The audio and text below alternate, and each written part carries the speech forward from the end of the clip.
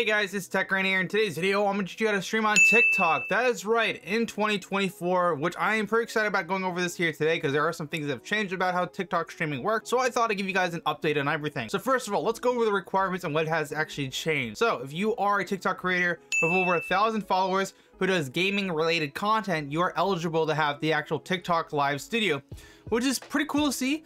But it's weird if you don't do gaming TikToks and you're just primarily like, you know, a dancing TikToker and do all that kind of jazz. You need to have at least 10,000 followers. So all I'm hearing from how TikTok works now, to get access to TikTok Live Studio, it really depends on what kind of content you make. Now you might be wondering, Tech Grant, is there any way for me to get access to a TikTok stream key and URL so that way I can stream with OBS Studios instead of the TikTok Live Studios? An excellent question. Well, I have some unfortunate bad news is that TikTok is no longer hanging out TikTok stream keys and URLs, which is sucks. Really does the thing because the fact that you don't have the flexibility with TikTok Live Studio as you do with OBS Studio, what you can do with it, which is just kind of unfortunate. However, there is another way to stream to TikTok Live Studio with Streamlabs OBS, which I'll have that video linked at the end if you're interested. But let's just say hypothetical, you have access to TikTok a live studio. What do I do next? You can see right here, I have a TikTok account that is primarily gaming content related to Apex Legends. If I was to go to the top right, and if you notice you have access to live studio, that primarily means one of two things. If you click on this, you'll get this tab right here, which will allow you to download TikTok Live Studio. However, if you do click on this and it takes you to the TikTok Live feed, that means you don't have access to it. Let's just say, for example, you have access to this. What do I do next? Well, what you want to do is download the actual app for your computer. You want to open this file and on up, and then it's going to install it onto your computer. Now, I will be making actually custom widgets for actually TikTok. So if you want to promote your Twitch during your actual TikTok live streams, so I'll have something like at blank on Twitch, link in bio. Uh, contact me on Discord and I'll make you for free. Once it's finished actually installing, it's gonna run it on your computer and you will need to actually log into it because it's gonna require a QR scan login or you can log in manually. So for example here, I'm just gonna log in with my phone. I'm gonna go to the camera app on my phone. I'm gonna click on the use QR code. I'm gonna take up this, click on the link that pops up. Then it's gonna take me to TikTok app. It's gonna be like, do you wanna confirm this user? I'm just gonna say yes. Once you're logged in, allow you to set up TikTok Live Studio. So we're gonna say uh, set up now, and then what we're gonna do is we're gonna just do uh, general, and what's it gonna do is gonna test the quality of your actual live to see what your upload speed and download speed is. So then it's gonna recommend some settings. You wanna use quality settings or performance settings. For the time being, we will use quality. You can change this later if you really want to.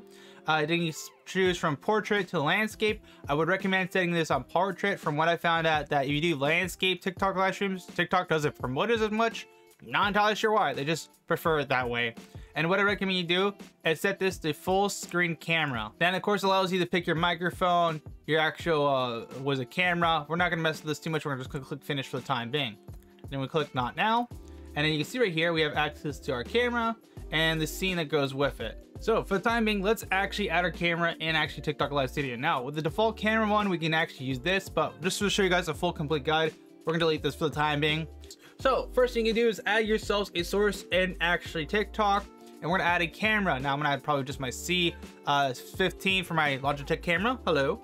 Uh, so we can add that. You can change the resolution, the FPS, and do whatever you want this. For time being, I'm not gonna particularly mess with this since the camera works perfectly fine.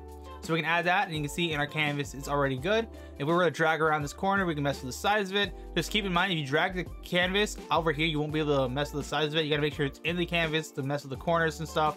So that's just something important to keep in mind just in case you're wondering like, why can't I readjust the size of it? It has to be in the frame. Now that you've got your webcam all good to go, you might be wondering, how do I add my gameplay or my capture cards in this? Well, that's gonna be really easy. What we wanna do is click on add a source again and this time you can choose your capture card or display capture. Now, since I am on a single PC setup, I am going to click the display capture. I'm gonna add this, and of course I have one monitor. I'm just gonna select the one monitor, but if you have another one, you can do that. And if you have a capture card, be the exact same process to make sure to find the capture card you're using.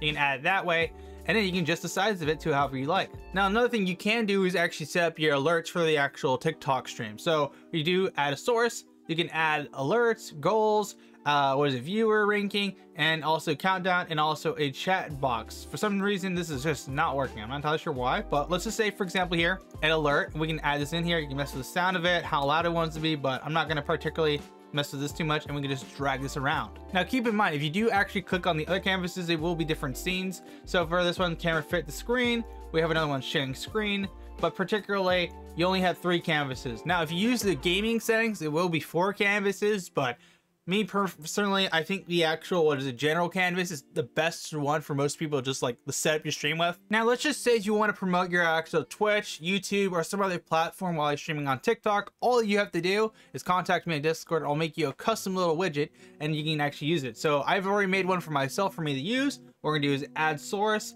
We're gonna click on images, click add an image, and then we can just select one from our file. So I'm gonna go my downloads, that thing I just downloaded. Says uh, link in bio for my actual Twitch, which is awesome. And we can add this and we can just drag this in here and move it however we want for the time being.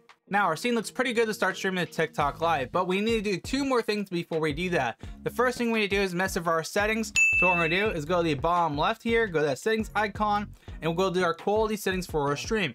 What I recommend you do is set this to customize, set it to 1920 by 1080, 60 FPS, 6000 bitrate, and you can kind of leave the audio bitrate the same and then just use whatever your encoder is. So me, I have an NVIDIA GPU, so I'm gonna set this to NVENC. If you have an AMD GPU, you wanna use the AMD encoder. If you are having any problems with your stream though, like upload speed and stuff, I would recommend switching this from actually 1920 by 1080 to actually 720p, and then switch this actual video bitrate from 6000 to only 4,000. Once you're good there, all you have to do is close this on out. The next thing we do is start messing with our microphone. So what we're gonna do is click these two audio mixer tabs, and when you're in here, you can actually see your different devices. You can see I have my uh, microphone for my primary mic, which is my Elgato stuff. So I'm gonna of course switch that by clicking this gear icon.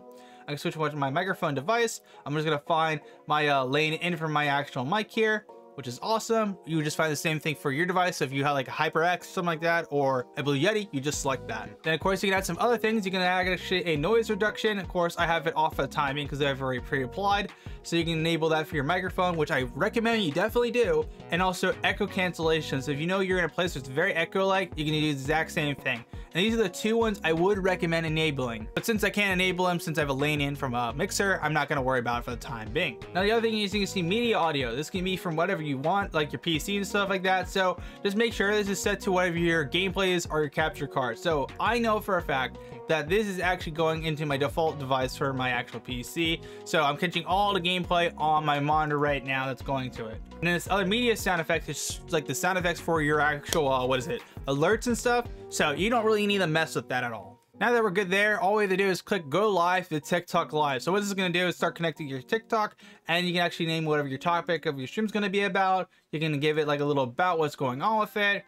You can mess with the settings and then you can do some advanced controls for the audience if you want to, but you don't need to mess with this if you don't want to for the time being. The big thing you will need to make sure to add is of course your topic. So I know I'm doing gaming content. I just look up Apex and once we're done with that, we can click go live. It'll take a second usually to load, but once it's live, it'll let you know you get a little chat pop up. And of course, you can check your TikTok to see if you're live or not. You can see TikTok lives right here, which is awesome. So we're officially streaming to TikTok with TikTok Live Studio. That's how I stream to TikTok. If you guys did find this video helpful or found it interesting, make sure to smash the like button and get subscribed because we're super close to 12,000 subscribers. So you want to help us hit that goal, that'd be very much appreciated. I'll see you on Tech Grant out.